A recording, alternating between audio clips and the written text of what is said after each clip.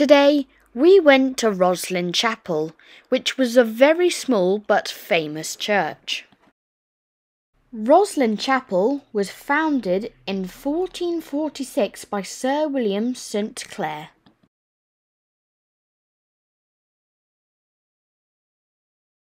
The church and its crypt has also been in the Da Vinci Codes film.